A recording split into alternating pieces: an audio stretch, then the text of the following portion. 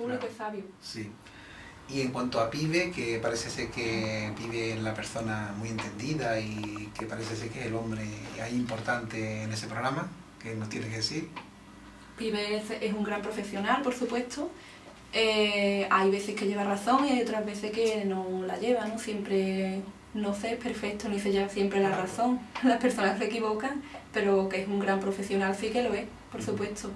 Lo que da una persona muy seria, ¿verdad, Pibe? Sí, pero luego no es tan serio por detrás, ¿eh? Después muy cachondón y siempre se está riendo, Sí. siempre está dándote guantazos en la espalda que me la tenía molía, pero...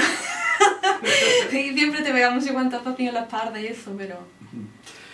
Oye, Rocío, la presentadora Eva González, que... O ¿cómo la contaba? presentadora es súper simpática, Sí. estupenda, de verdad, es una persona súper humilde, sencilla, que otra en su lugar a lo mejor estaría su vía y ella nada de nada, ¿eh? es súper humilde, simpática. te ayudaba, colaboraba contigo.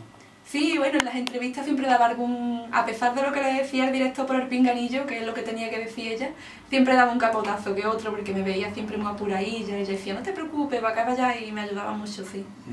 Y la